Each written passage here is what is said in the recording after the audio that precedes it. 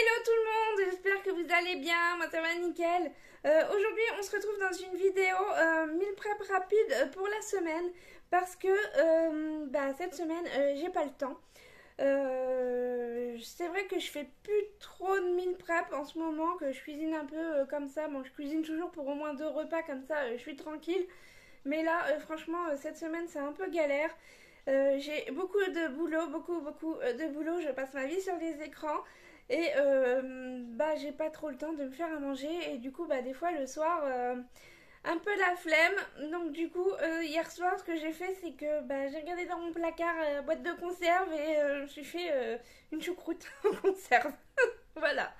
Donc je me suis dit je vais pas me faire ça tous les soirs parce que c'est bien les boîtes de conserve ça dépanne mais franchement j'ai pas envie de manger ça tous les soirs et je préfère me faire des bons petits plats sains bah, pour manger euh, tous les jours. Donc je me suis dit que euh, bah, j'allais faire euh, bah, un petit meal prep comme ça, vraiment rapide. Par contre, ce que j'ai fait quand même hier, c'est que j'ai déjà préparé tous mes légumes parce que j'avais pas envie de passer trois plombs en cuisine aujourd'hui à devoir tout couper mes légumes. Donc je me suis fait des carottes râpées, je me suis fait du chou rouge râpé. Enfin râpé en coupé en morceaux quoi pour faire une crudité. Euh, j'avais acheté un chou rouge. Bah, de toute façon, vous avez vu mon retour de course euh, de la semaine dernière. Donc, bah, j'ai repris les mêmes trucs que j'avais achetés, hein, forcément. Je les ai achetés, euh, c'est pour les manger. J'avais acheté un chou rouge, donc j'ai coupé la moitié et j'ai coupé bah, une moitié en, petits morceaux pour me faire une salade. Donc, j'ai fait ça. J'ai coupé tous mes poireaux donc euh, j'en ai mis, euh, j'en ai gardé un pour me faire une recette euh, pour aujourd'hui et les autres je les ai coupés et je les ai mis en morceaux, en morceaux. Je les ai mis au congélateur. je suis fatiguée. hein. Et j'ai cuit du coup mon poireau pour aujourd'hui, il est là. Et je l'ai mis au frais et j'ai coupé aussi euh, mon chou-fleur et euh, je l'ai cuit pour une recette que je vais faire là aujourd'hui. Donc la recette ça va être euh, galette de chou-fleur. Donc euh, bah, je pense que ça va être la première recette que je vais faire. Et ensuite avec les poireaux, je vais me faire une tarte aux poireaux. J'avais de la pâte feuilletée dans le congèle, donc je vais me faire ça aujourd'hui, comme ça au moins dans, la semaine j'aurai de quoi faire. Et je vais vous montrer une recette express que je fais quand vraiment j'ai la flemme mais que j'ai pas envie non plus de manger un truc déséquilibré, j'ai envie de dire, pas sain. Donc euh, vraiment une recette ultra méga rapide. Vous allez voir euh, la recette de la flemme. Donc je vais vous montrer ça euh, aujourd'hui. Donc là je vais faire les galettes de poireaux, je vais faire ma tarte, non. Les galettes de chou-fleur, la tarte au poireau, je vais y arriver, je vais y arriver. Voilà, et je vais faire ça et après pour la fin je vous montre ma, ma recette de la flemme hyper express. Voilà, donc euh, bah, c'est parti euh, pour euh, une nouvelle vidéo. Alors, pour la recette de galettes au chou-fleur, il vous faut euh, 500 g de chou-fleur cuit. Bon, j'ai un peu plus, j'ai 580 g que j'ai cuit à la vapeur et que j'ai tout écrabouillé. Voilà. Ensuite, je vais ajouter 3 œufs.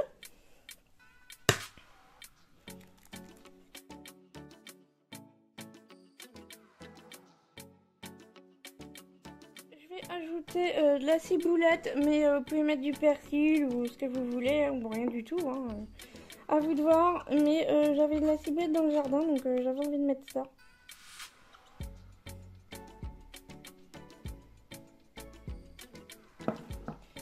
Voilà, la ciboulette. Ensuite, euh, je vais ajouter euh, du parmesan. Je vais mettre 60 grammes. Je vous mettrai tout euh, en barre d'infos, hein, les ingrédients.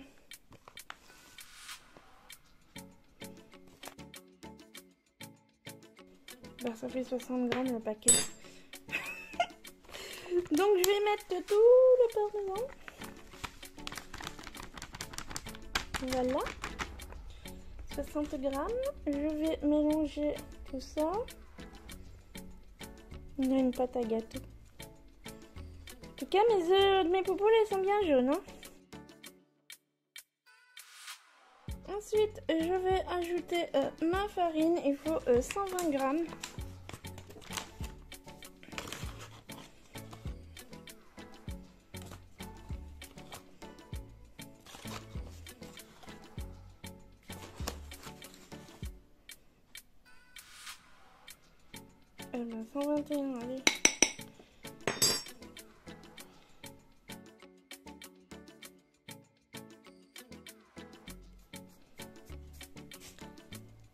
Je mélange, mais je vais euh, passer de l'autre côté de la caméra parce que j'en fous partout.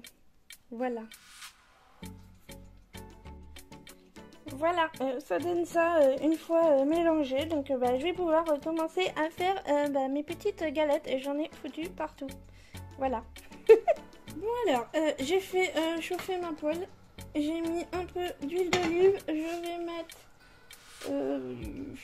une bonne cuillère à soupe. Voilà, on va faire comme ça.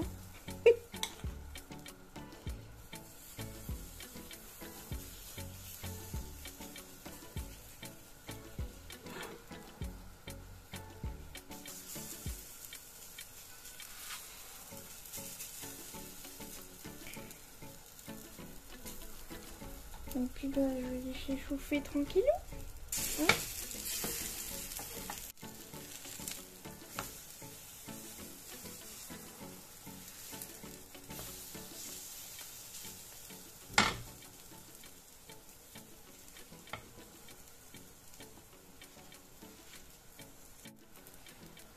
ça m'a pas l'air trop mal tout ça.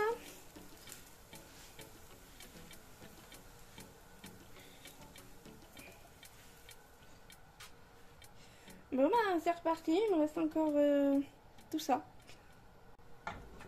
Alors euh, pour ma tarte de poireaux, je vais faire euh, vraiment ultra simple. Donc j'ai déjà mis ma pâte feuilletée bah, dans mon plat à tarte. Moi je laisse le papier, hein, je m'en fous. je vais casser 3 euh, œufs dans mon saladier. Ensuite, j'ajoute euh, de la crème liquide comme ça. J'ai pris de la 12%, mais après, vous mettez ce que vous... Un peu euh, de sel.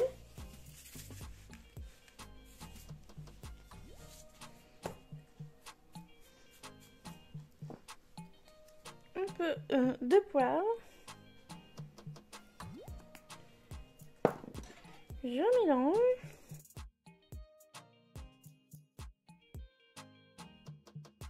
je vais ajouter 200 euh, ml de lait écrémé.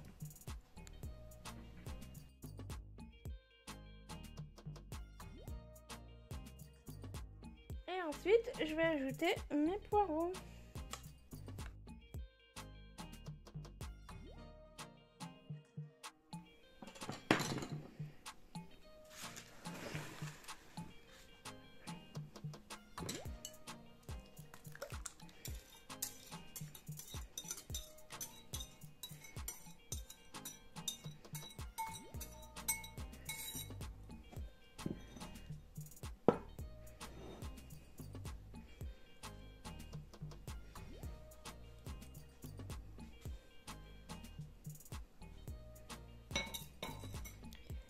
Et voilà pour ma quiche, c'est tout simple, je mets même pas de fromage dessus parce que moi j'aime pas trop quand il y a du fromage sur la quiche au poireau.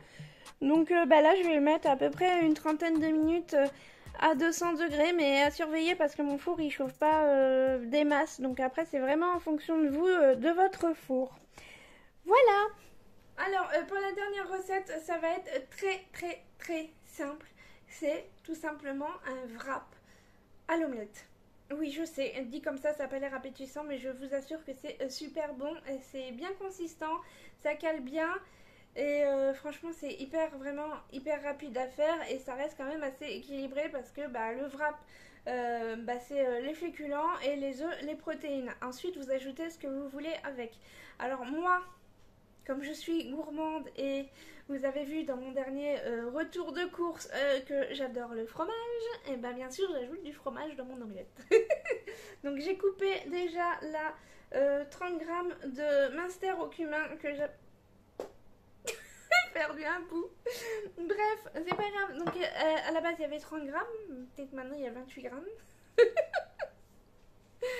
Euh, je prends du, du Master parce que c'est un fromage qui est assez fort et j'aime bien manger euh, du fromage fort euh, avec les œufs parce que je trouve que ça va bien ensemble. Et puis en plus, il était en date courte donc il faut que je le mange quand même assez rapidement.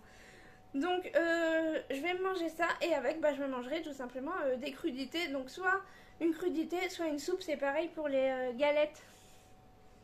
J'ai plein de galettes, franchement elles ont l'air trop bonnes. Donc c'est pareil, avec ça je mangerai soit une soupe, soit, soit des crudités. Voilà, j'ai des briquettes de soupe à manger parce qu'ils arrivent aussi en date courte d'ici euh, mois de février, je crois. Donc, euh, si j'ai envie de manger une soupe, euh, je mangerai une soupe ou alors bah, je mangerai des crudités vu que j'ai du chou, j'ai des carottes. J'ai gardé aussi un morceau de, de chou-fleur cru parce que moi j'aime bien manger ça comme ça aussi. et j'ai aussi des betteraves sous vide dans mon placard si vraiment j'ai envie de changer un peu de légumes. Voilà, ou alors après j'ai des, légumes dans mon congélateur si vraiment j'ai envie. Vous aurez remarqué que euh, je mange pas beaucoup de viande, j'ai pas prévu de viande euh, bah, dans mon meal prep finalement. C'est vrai que je me suis même pas rendu compte. Euh, mais je suis je suis pas très viande. Après dans, les galettes de chou-fleur vous pouvez ajouter des lardons, de la pancetta, du poulet, pourquoi pas à vous de voir. Et euh, bah, dans la, quiche euh, au poireau, euh, vous pouvez mettre du saumon, du poulet aussi, du thon, plus un poisson peut-être avec le poireau, je sais pas.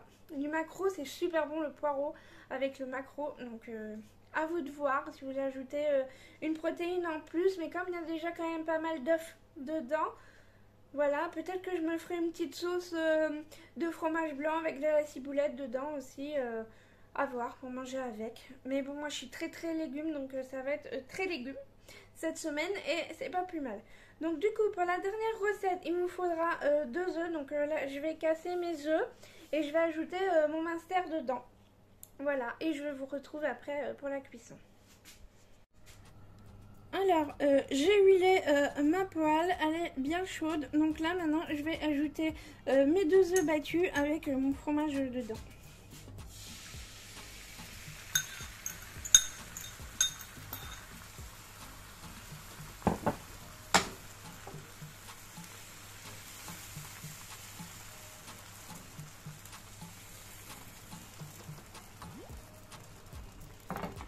Et tout de suite, pendant que c'est pas encore tout à fait cuit, je vais mettre mon wrap. Voilà. Bon, le mieux c'est de prendre une poêle euh, qui fait la même taille que le wrap, hein, mais bon.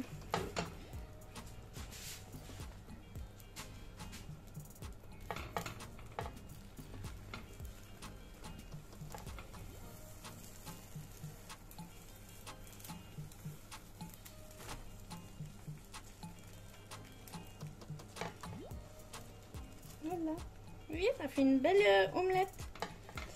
Et ensuite, euh, bah, je vais refermer comme ça. Vous pouvez mettre ce que vous voulez dedans, hein, euh, des tomates ou je sais pas quoi. Et je vais laisser bien griller ma tortilla parce que j'aime bien quand c'est bien grillé. Voilà.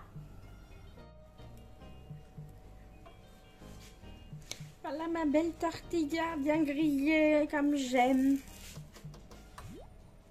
Voilà ça dans mon assiette. Ça va dépasser de l'assiette, hein, forcément, vu que ce sont des assiettes à entrée, donc euh, forcément ça dépasse. Mais bon, il y a quand même de quoi manger, hein.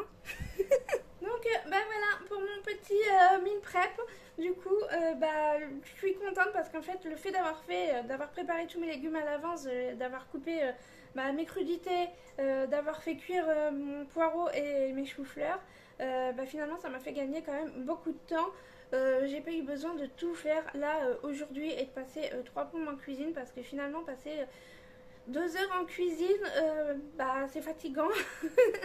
Faut avoir le temps aussi, donc là de faire en, deux fois, préparer les légumes un jour et le lendemain de faire bah, les préparations, finalement bah, ça coupe du temps. Et, hier j'ai fait ça, j'étais en train de faire cuire ma boîte de conserve là et je me suis dit bon allez je vais couper, je vais couper mon chou rouge pendant ce temps-là. Et puis après bah, j'ai fait des carottes. voilà et j'ai fait cuire les trucs pendant que je mangeais donc c'était assez rapide après une fois que j'ai fini de manger j'ai juste eu à mettre dans les boîtes et à mettre au frais après une fois que c'était refroidi bien sûr et et voilà, aujourd'hui, euh, j'ai pu faire mes préparations. Euh, j'ai mis, euh, j'ai mis une heure à peu près. Oui, j'ai mis un, peu, petit peu plus d'une heure, mais parce que je suis en train de filmer aussi en même temps et ça prend beaucoup de temps et je suis pas non plus équipée pour filmer. Ça fait que de se casser la figure, enfin bref. Donc c'est un peu à l'arrache comme d'hab, mais c'est pas grave. Hein. Euh, donc ça prend un peu de temps, mais là franchement j'aurais pas filmé euh, en une demi-heure c'était bouclé parce que j'aurais pas fait recette par recette, j'aurais fait tout en même temps quoi. Voilà. Donc euh, c'est quand même hyper rapide et puis vous avez pu voir ma super recette de la flemme wrap omelette avec le fromage qui coule. Franchement ça donne trop envie. Donc je vais manger ça ce midi. Je précise que c'est des assiettes à entrée. Hein. Voilà. c'est pour ça que ça a l'air énorme sur l'assiette, mais je mange toujours dans les petites assiettes. Voilà, et avec, je me suis fait ma petite salade de crudité. Donc euh, carottes râpées et choux rouges que je me suis euh, coupé à l'avance. Et j'ai ajouté quelques graines de courge. Et je vais me faire une petite euh, vinaigrette avec. Parce que les carottes encore, je peux les manger crues comme ça. Mais le chou rouge, j'aime bien avoir une petite vinaigrette avec quand même. Donc je vais pas vous montrer comment on fait une vinaigrette, hein. c'est un truc de base, hein. moutarde, huile et euh, vinaigre balsamique, je mets du vinaigre balsamique, sel, poivre et voilà, basta. Donc euh, je vais m'en préparer euh, un petit pot et comme ça j'en aurai pour 2-3 jours. J'achète pas, c'est rare que j'achète de la vinaigrette déjà toute faite parce que finalement après elle périme dans le, dans le frigo parce que je suis pas très sauce, donc maintenant je préfère la préparer moi-même à l'avance. Voilà. Comme ça, je m'en fais pour, pour 2-3 jours si je sais que j'ai des crudités. Et encore des fois, je mange sans, sans sauce. Donc euh, voilà. Bref, j'ai fini de vous raconter de ma vie avec euh, ma vinaigrette. Euh, la tarte est encore dans le four, donc je vais pas vous la montrer. Mais j'espère que ça vous aura plu. j'ai pu faire quand même beaucoup de galettes. Donc je suis contente. elles ont l'air trop bonnes en plus. Je vais goûter trop gourmande. Je sais je suis trop gourmande. Bah, je vais voir, j'ai jamais goûté. C'est une recette que j'ai trouvée sur Insta.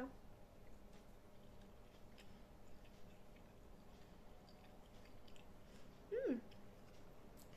Pas mauvais. On sent bien le, on sent bien le chou-fleur. Hein. Mais c'est pas mauvais, franchement c'est bon, mais je pense que je vais me faire quand même la petite euh, sauce euh, au fromage blanc et la ciboulette avec. Je pense que ça pourrait euh, faire pas mal.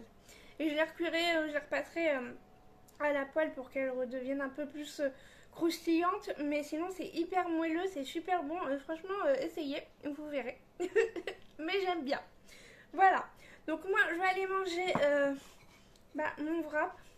Parce que il est midi 45. je vais aller manger mon wrap avec mes crudités. Et ensuite, je vais aller faire ma petite rando et après, bah, je me remets au boulot parce que j'ai encore plein de travail. Voilà. Bon, bah, j'espère que la vidéo euh, vous aura plu. Et puis, euh, bah, pensez à me liker. Pensez à vous abonner si ce n'est pas fait. À me poser vos questions en commentaire. Et puis, on se retrouve euh, bah, dimanche dans une prochaine vidéo. Allez